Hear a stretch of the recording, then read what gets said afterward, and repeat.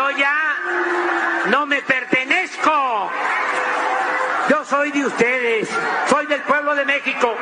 Yo no me pertenezco, yo le pertenezco al pueblo de Venezuela. Mi vida es de ustedes. Decirles que amor con amor se paga. Que así como ustedes me quieren a mí, les quiero yo a ustedes. Amor con amor se paga.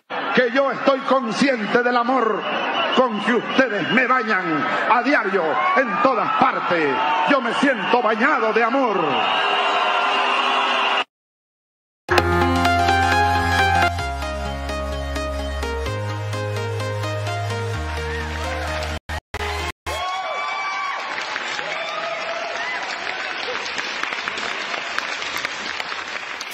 ¿Cómo están? Excelente día, excelente tarde, excelente noche, excelente madrugada a la hora que usted esté viendo el video.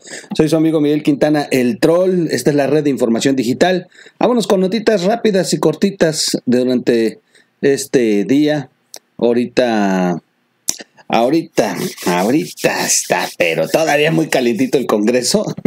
está muy calientito por todo lo que ocurre ahí con el debate por, bueno, la rebatinga, la, la la pelea de cantina que se aventaron por la presidencia de la mesa directiva, un cargo que sinceramente Noroña lo sobrevaluó, pero pues, tampoco cree usted que tienen gran relevancia, ¿no? Eh, ahí, ahí en el Congreso apenas terminaron, apenas terminaron, y de inmediato eh, sacaron una, una aprobación de, ley, de reformas que eh, están dando mucho de qué hablar. Los diputados aprueban eliminar el fuero presidencial y la oposición se acusa que esto es una farsa. Obvio, la oposición no, no, no está eh, de acuerdo, pues esto sería un punto, un punto para la 4T, un punto para para Obrador. Y la oposición acusa que esto trae plan con maña, o sea que sí, se lo están quitando, pero, pero, eh, es, es, parte del debate que se está dando. Vamos a, leer la nota y hacemos comentarios finales, si ustedes me lo permiten.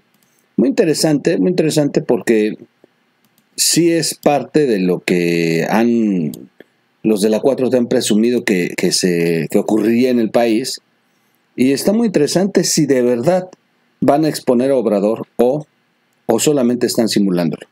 La Cámara de Diputados aprobó esta tarde el proyecto de dictamen. Fíjense bien, es un proyecto de dictamen.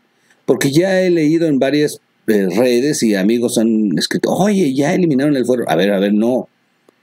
Es un proyecto de dictamen. Todavía se tiene que ir al Senado para que se pueda eh, aprobar, pero en ese camino puede recibir varios eh, cortes, pueden modificarlo. Y, si existe esto, pues se lo van a regresar a la Cámara de Diputados, etc, etc. O sea, no está aprobado. Todavía no es una cuestión que ya implique ser ley y se tenga que aplicar. No. El fuero todavía lo sigue teniendo el presidente. Así que esto puede llevar, ¿eh? De pronto se empantana, se, se vienen otras cosas, viene el presupuesto, vienen, vienen más, más eh, pendientes en la agenda legislativa y en una de esas se la llevan ahí y van a decir siempre, no, nosotros tuvimos la intención, ahí está, ya, nosotros ya, ya pedimos que se quite el fuero. Y bueno, le van a vender al pueblo de México a partir de ayer la idea de que ya el, fuero está eliminado y no es así. El fuero no está eliminado, es un dictamen para eliminarlo. Mismo que será enviado al Senado para su discusión, vean, es lo que les digo. El dictamen que modifica los artículos 108 y 111 constitucional fue aprobado con 420 votos a favor. A ver, dígame qué diputado no va a creer. O sea, ¿qué diputado va a decir, no, no, no, no, nosotros nos oponemos a, que le quiten el fuero. De tarugos, los van a exhibir. Y entonces, como se ve ahí en la imagen, eh, a favor 420, en contra 0 y abstención 15. 15 dijeron, o no estaban, no fueron, fueron al baño a la hora de la votación. Cámara de Diputados, eh, bueno, sube el Congreso, que bueno, está administrado por la 4T, sube un tuit a la cuenta oficial de la Cámara y dice, se procede a recabar la votación nominal en lo general para la reforma a los artículos 108 y 111 constitucional. Y bueno, se habla de, de que se tenga que eh, ahora pasar este dictamen, enviarlo al Senado de la República. Falta todavía eso, falta todavía la revisión del Senado. Vamos a ver qué tanto le modifica el Senado. También habrá que ver, habrá que ver qué tanto, qué tanto le mete la mano el Senado, que diga al Senado, no, pues sabes que no estamos de acuerdo. Y, eh, y bueno, vamos a ver si está la sesión.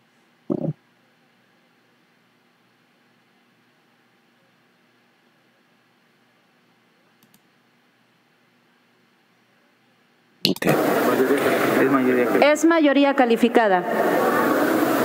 Aprobado en lo general y en lo particular por 420 votos el proyecto de decreto por el que se reforman los artículos 108 y 111 de la Constitución Política de los Estados Unidos Mexicanos en materia de fuero pasa al Senado de la República para sus efectos constitucionales. Ahí está. Ahí está exactamente lo que ocurrió. Se está estrenando la, la Dulce María eh, como presidenta de la mesa. Ya le tocó la primera reforma. De todos modos va a aprobar todo. Ya ven que uno de los requisitos para dejarla pasar que le pusieron fue no te opongas a nada que te envíe el presidente. Así, así de fácil. Bueno, ahí está la, ya la, la reforma. Pero va todavía el Senado. Por lo tanto, los mandatarios nacionales podrían ser juzgados por corrupción, delitos electorales y todos aquellos delitos por los que se puede ser juzgado cualquier ciudadano durante su cargo. Recordemos que en este momento no pueden ser juzgados solamente por traición a la patria. De hecho, pues por eso López ha dicho así abiertamente, sí, yo ordené la liberación de, del hijo del Chapo. O sea, es un delito, es un flagrante. Creo que es el delito más fuerte que ha confesado Obrador. Eh, que ya se le han ido otros dos, pero es el, el, número uno, es el que lo tendría que tener bajo las rejas y eh, no puede ser, pues no eh, tiene todavía el fuero goza de este beneficio. Y con esta reforma, en el momento en que terminó de declarar, tendrían que estar agentes de la fiscalía esperándolo afuera de la, de la mañanera y llevárselo. Esa sería la diferencia. Eh, te preguntaba un abogado, y si pasa, que le van a hacer? Pues la ley no es retroactiva, en perjuicio de nadie, y, eh, y habría que ver, habría que ver, pero, pero la oposición sigue insistiendo en que esto es un juego de, doble vista y que trae truco y que hacen como que sí están quitando el fuero, pero que trae ahí elementos que pareciera entenderse que no. Por lo tanto, bueno, de esta forma se incorporan también delitos como el abuso o la violencia sexual, contra menores, delincuencia organizada, homicidio doloso, feminicidio, violación, secuestro, trata de personas, robo a casa, habitación, de todo eso puedes acusar ahora a un presidente. Nunca más un presidente debe tener ningún elemento de impunidad. Nunca la, igualdad formal. A partir de ahora, no hay presidente por encima de ningún otro, celebró Pablo Gómez. Sí escuché el discurso de ayer de Pablo Gómez, muy buen, muy buen discurso. Pablo Gómez siempre ha sido un político de mucho colmillo y, eh, y la verdad se, lució. Se lució, se lució Pablo Gómez en el discurso. Eh, pues política al final de cuentas. Eh, Pablo Gómez pues, le echa ahí su feeling. Pero bueno, le vuelvo a insistir. Vamos a terminar la nota. sin embargo, los diputados de oposición del PRD y del PAN, del PRD, estos que fueron priistas por por unos minutos, sí, porque se cambiaron, se fueron para engordar al, PRI y luego ya se regresaron a su partido. Bueno, esto sí no lo he entendido porque hay una nota muy buena hoy, una columna, voy a prepararles un video. Es lo que yo platicaba ayer en otro video eh, sobre qué va a pasar con los estatutos. O sea, estos que se pasaron para dar la mayoría, ¿la conservan? ¿La conservan hasta que termine? O sea, van a quedarse ahí como parte de la bancada. ¿Qué va a pasar con los derechos en su partido? ¿Los van a expulsar? Hay normas. No te puedes estar pasando de partido en partido nomás porque sí. Pero bueno, ya será tema de otro video que vamos a analizar.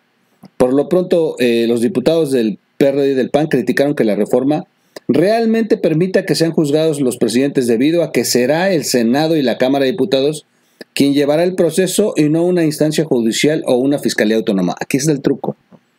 Aquí está el truco. Los quieren enjuiciar en el Pleno como un juicio político. Si lo que deberían hacer es liberar para que se apliquen todas las normas legales para que intervenga la fiscalía, para que se vaya a una agencia del Ministerio Público, para que se presente ante el juez un expediente y pueda ser juzgado. No, lo que quieren es llevarlo primero a un juicio político, que de por sí se hace este juicio político para desaforar, pero, pero ya lo quieren hacer como si para, para sentenciar, muy parecido a lo que ocurre en Estados Unidos. En Estados Unidos tiene un procedimiento en el que el Congreso juzga, y, pero ya juzga con eh, capacidad de sentenciar ¿eh? En determinados eh, delitos. Bueno, la bancada del PAN calificó la eliminación del fuero. Es una farsa más de Morena. Los legisladores blanquiazules señalaron que la reforma aprobada se establece que el proceso de destitución será el mismo y pasará por las cámaras y que el único cambio es que se amplían los delitos por los que puede ser juzgado el presidente. O sea, nada más ampliaron los delitos a juzgar. Eh, a la, pues es que sí, o sea, están haciendo algo que el pueblo pueda entender como una respuesta a una promesa, pero bien le metes trucos, candados para que al final de cuentas no termine su juzgado. O sea, díganme ahorita, después de escuchar a los diputados decir es un honor estar con Obrador si lo van a juzgar. El fuero continúa, se amplían posibilidades para enjuiciar al presidente, pero sigue siendo ante las cámaras. Hablemosle a México con la verdad y no nos escondamos con discursos floridos, ni con gritos, ni con necedades, para disimular que no están retirando el fuero y que si lo quieren retirar al presidente de la República, aquí están nuestros votos y aquí está ya registradas propuestas para poder hacerlo. No engañemos a los mexicanos no utilicemos una reforma que es diferente a la del discurso para simular, porque la simulación va a venir acompañada de reclamos sin duda de los ciudadanos. Por su atención, muchas gracias. Excelente, excelente, excelente ahí la fracción del PAN. Muy, muy bien, muy atinado lo que está diciendo. Jorge Arturo Espadas Galván, diputado del PAN, enfatizó que los presidentes tendrían que pasar por un proceso penal como cualquier ciudadano. Eso se tiene que hacer. Se lo dejas al Congreso y termina siendo político. Si tiene mayoría, pues ya quiero ver cómo van a enjuiciar a su patrón. Tendríamos que decir que, como cualquier ciudadano común, el presidente tendría que tener la posibilidad de ser acusado por un fiscal ante un juez. Eso sucede en cualquier ciudadano que comete un delito. Eso es quitar el fuero. Bueno, pues tenía, tenía que tener truco, tenía que tener truco. No iba a ser tan fácil que se expongan, ni que expusieran al propio López, que pues, está continuamente cometiendo unos errores que ya lo tuvieran, digo, en, en Almoloya. No, no, no es así como lo están vendiendo. Así que definitivamente hicieron como que quitaron el fuero, pero en la realidad no están quitando nada. Una vez más, una, una acción electorera, una acción que eh, simula, que al pueblo lo confunde, que les ayuda a ellos. Ahora hasta comerciales van a sacar. Nosotros quitamos el fuero. Hemos cumplido un compromiso. Estamos oyendo de aquel 21 vendiendo algo que ni siquiera es. Y miren, y el PRI no dijo nada. nada. Son los lacayos de Morena. Están ahí como si fueran parte de Morena. No, no, no, no. Le vendieron su alma al diablo por esa mesa. Ya de por sí. En fin, bueno, pues ya está, ya está este tema. Qué hueva, la verdad es que me dan una hueva. Eh, Hasta bostecé de la flojera que me da que sean tan enanos políticamente. Bueno, soy su amigo Miguel Quintana, el troll. Eh, nos vemos en un siguiente video. Lo tenía que hacer, lo tenía que decir. No se puede quedar así. Todo el mundo está diciendo, ay, quitaron el foro. No, no quitaron el foro. Usted de todos modos tiene la última palabra. Vámonos.